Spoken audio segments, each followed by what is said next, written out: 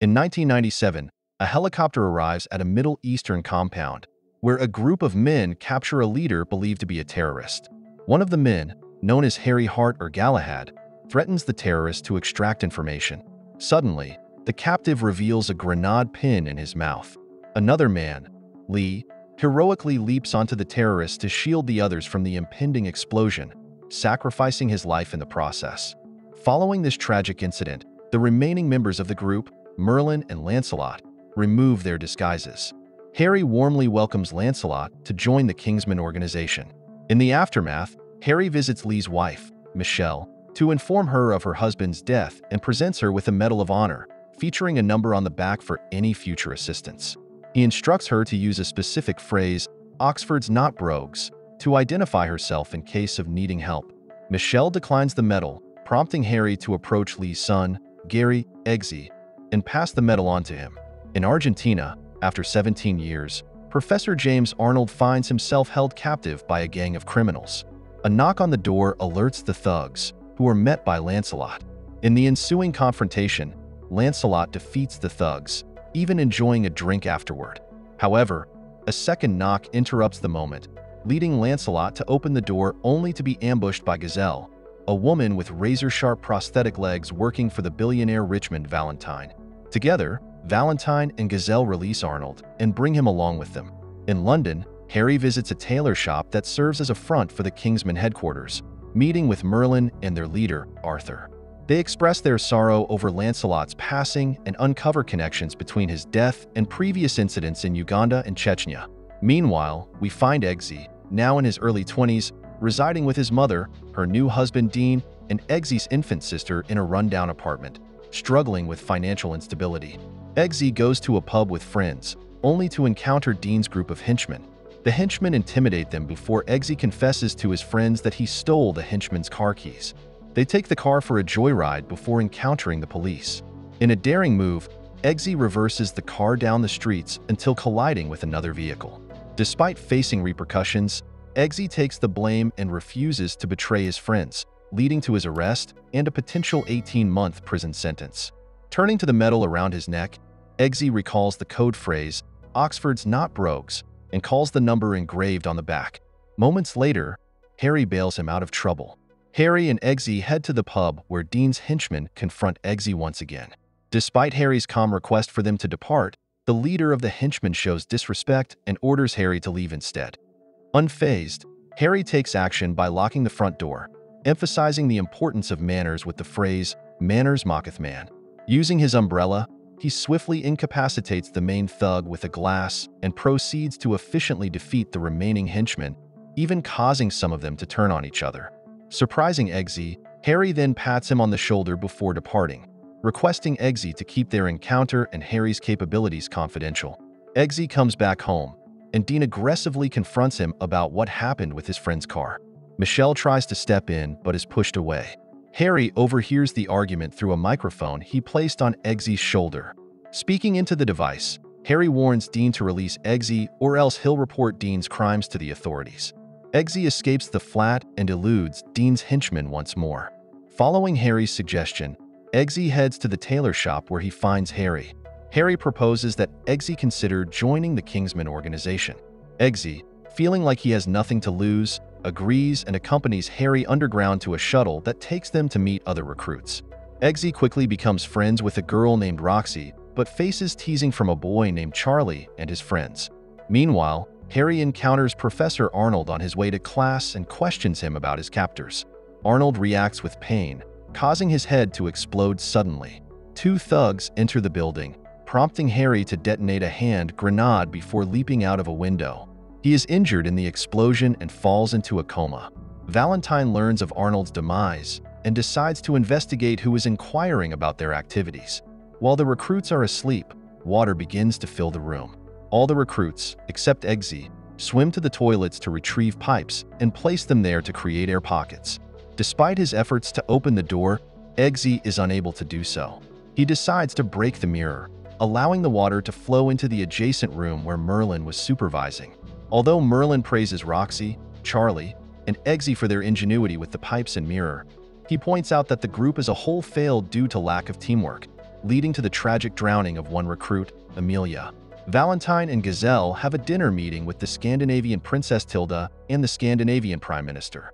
While Valentine explains his proposal for managing climate change, the PM supports the idea, but Tilda considers Valentine to be insane. Tilda exits the scene and alerts the guards. Gazelle swiftly takes action, using her prosthetic legs to eliminate the guards and hold Tilda captive. In the meantime, the recruits engage in further training by taking on the task of individually training a group of puppies.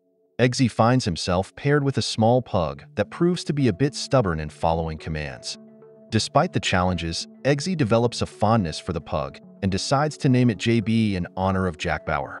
When Harry regains his strength, he, Merlin, and Eggsy uncover the shocking truth about Arnold's demise. He had a chip implanted in his neck that caused his head to explode. A similar discovery is made when they find the Scandinavian Prime Minister with a matching scar under his ear, indicating the presence of the same implant. Merlin traces the source back to Valentine, the mastermind behind these sinister acts. Eggsy marvels at Valentine's cunning as he shares a video of Valentine's plan to distribute free SIM cards worldwide. Suspicions also arise regarding Valentine's possible involvement in the mysterious vanishings of various world leaders and celebrities, including Iggy Azalea. Determined to uncover more about Valentine's nefarious intentions, Harry assumes a covert identity to infiltrate Valentine's estate. During a casual meal of McDonald's, Harry and Eggsy bond over their shared love for James Bond movies. Despite their efforts, Harry gains limited insights during his investigation, only noticing one of Valentine's associates carrying literature from a controversial church group based in Kentucky. The group consists of Eggsy, Roxy, Charlie, and three of Charlie's pals for their next task, which involves parachuting from a plane onto a target. Merlin instructs them to come up with a plan if one of them lacks a parachute. Amid the chaos, one recruit deploys their chute prematurely. Eggsy gathers everyone to link hands before activating each other's parachutes. Merlin releases the rest except for Charlie, leaving only him and Roxy, who deploys her chute at 300 feet. At the tailor's shop, Eggsy reunites with Harry, who guides him into a room filled with an assortment of weapons, such as a hand grenade disguised as a lighter, a pin containing poison, and a pair of shoes equipped with a poisoned blade.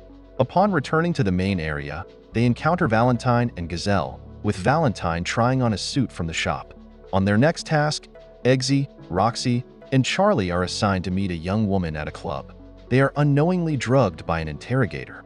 When Eggsy awakens, he finds himself bound to the railway tracks. The interrogator pressures Eggsy to divulge information about the Kingsman organization and Harry, but Eggsy remains silent. Despite the train passing over him, Eggsy is dropped into a small pit.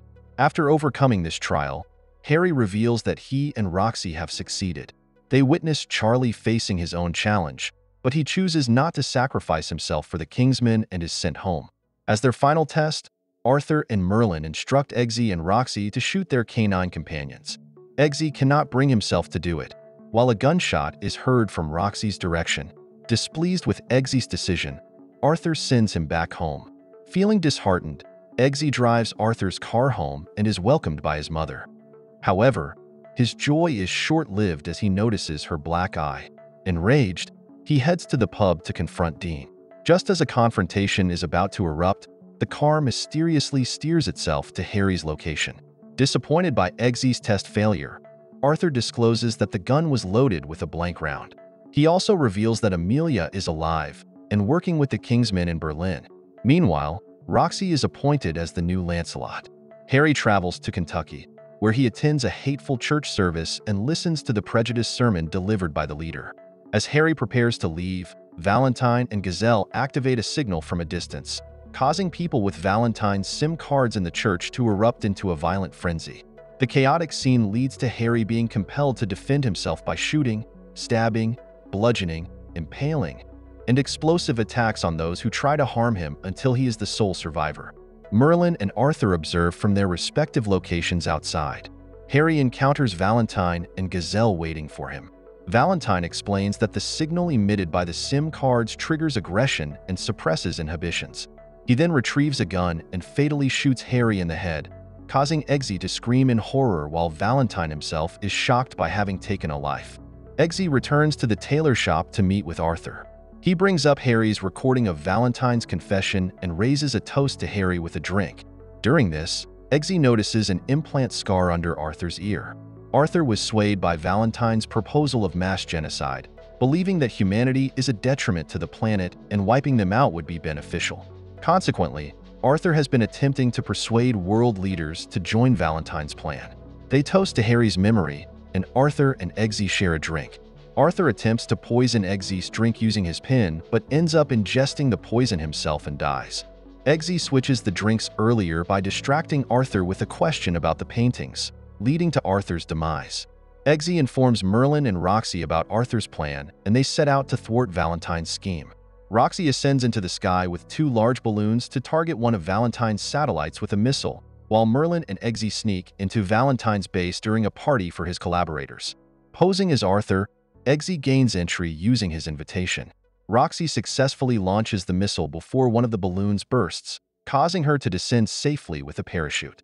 Eggsy locates the Scandinavian princess Tilda and proposes a kiss in exchange for saving the world. After effectively preventing the disaster, Eggsy subdues Valentine and hacks into his computer. Charlie appears and holds Eggsy at knife point. In response, Eggsy uses the electric ring on his finger to shock Charlie.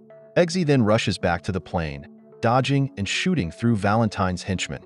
Meanwhile, the missile hits Valentine's satellite, delaying the signal from activating. However, Valentine gains control of another satellite closer by using a biometric scanner that Merlin cannot bypass. The signal goes live worldwide, causing people in London, Rio de Janeiro, and New York to engage in violent behavior. Michelle is shown attempting to break into the bathroom, attempting to harm her daughter after receiving instructions from Roxy to lock herself inside, per Eggsy's request. Eggsy finds himself cornered by one of Valentine's gunmen after attempting to return and thwart Valentine's plans. Merlin activates the implants, resulting in the heads of the gunmen and world leaders exploding like fireworks. Eggsy confronts Valentine and Gazelle, briefly diverting Valentine's attention by shooting at them and removing Valentine's hand from the scanner, stopping the signal. Gazelle then bursts through the glass and attempts to attack Eggsy. The two engage in a fight, culminating in a dramatic clash. Gazelle tries to strike Eggsy with her bladed legs, but Eggsy counters by poisoning Gazelle after using the blade in his shoe against her. He then removes one of her legs and throws it at Valentine, impaling him and deactivating every signal permanently. Merlin and Roxy praise Eggsy for saving the world. Eggsy then grabs a bottle of champagne and two glasses, heading to Tilda's place. He plans to have a drink with her, which prompts Merlin to turn off his video monitor. The credits begin, and the scene shifts to Michelle and Dean at the pub. Eggsy arrives in a fine suit and informs Michelle about his new job, which includes benefits like a new home for them away from Dean. Dean tries to intimidate Eggsy again with his gang. Eggsy locks the front door and recites Harry's famous line, Manners maketh man. Using the umbrella hook, he throws a glass at Dean's face. Then, with a grin, he echoes another one of Harry's statements. Are we just going to stand around? Or are we going to fight? Don't forget to subscribe and turn on the notification bell if you want to watch more videos like this. Thank you for watching and see you again soon. Take care.